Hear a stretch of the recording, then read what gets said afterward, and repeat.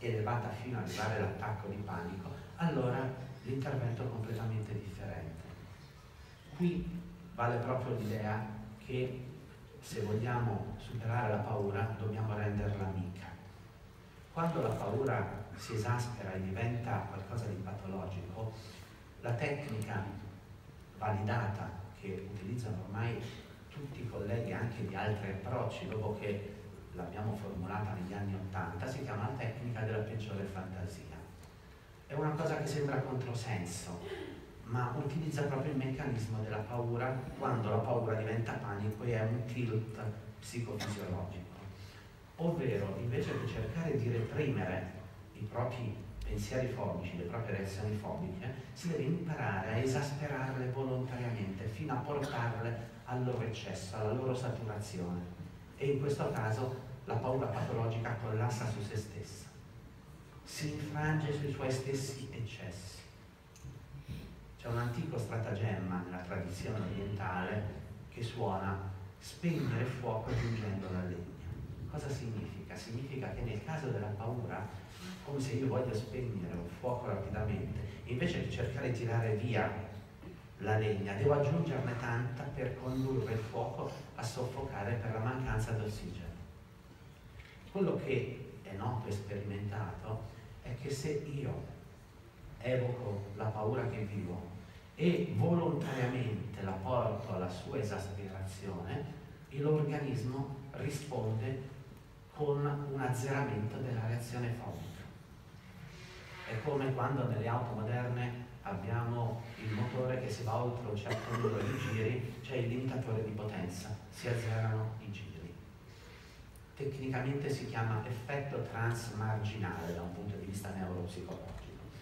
E questo è molto importante perché è uno strumento fondamentale che si acquisisce attraverso il training, okay? per cui tutti i giorni mi esercito volontariamente a cercare le mie paure, a esasperarle, finché mi accorgo che l'effetto è come se io evocassi un fantasma, lo tocco e lo faccio svanire ogni volta. Evoco il fantasma, lo tocco lo faccio svanire ogni volta. E gradatamente acquisisco di nuovo la sensazione di efficacia personale, di capacità di gestire la mia paura non reprimendola, ma alimentandola fino alla sua saturazione. E badate bene, questo in una situazione come il post-terremoto è uno strumento importante per tutte quelle persone che, a differenza di quelle che abbiamo descritto prima, vivono situazioni di aggressione della paura più differenziate, non hanno il flashback del post-traumatico dove ricorre l'immagine, ricorre la sensazione, ricorre quel tipo di esperienza. In questo caso tutto spaventa, tutto diventa un allarme, come dicono i poeti, tutto ciò che fruscia mette terrore, come se ci fosse l'animale pericoloso, tutto ciò che trema sta avvertendo che arriva qualcosa.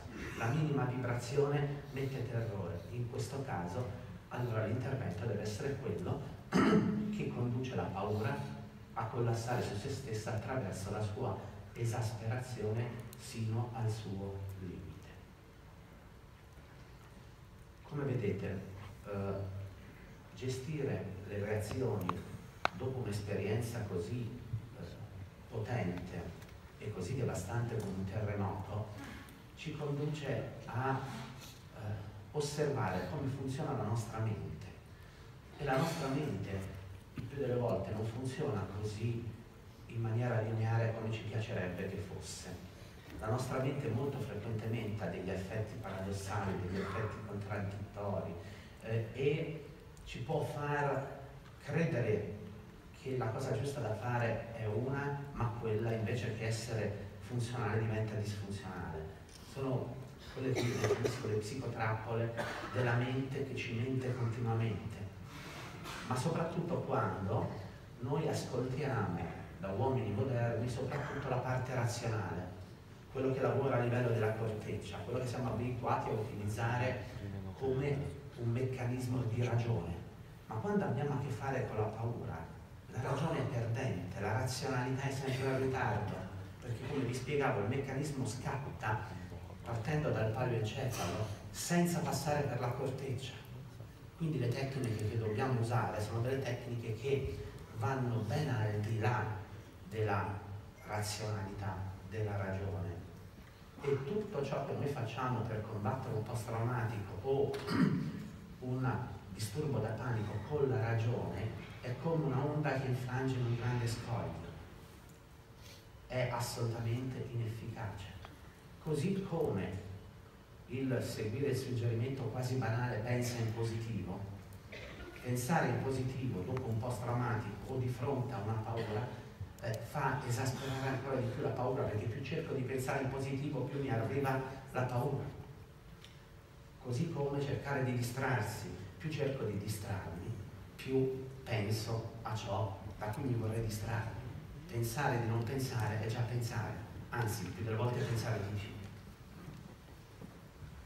Se invece noi prendiamo la paura e la utilizziamo per il suo funzionamento, per come la paura eh, scatta dentro di noi, per come possiamo orientarla e limite trasformarla in risorsa, quello che può avvenire è che esperienze così devastanti e traumatiche come un terremoto poi facciano parte di un repertorio di esperienza che fortifica l'uomo, che lo rende ancora più forte termine tecnico lo rende resiliente. Come dice un'antica metafora orientale, si tratta di trasformare le lacrime in perle. Grazie.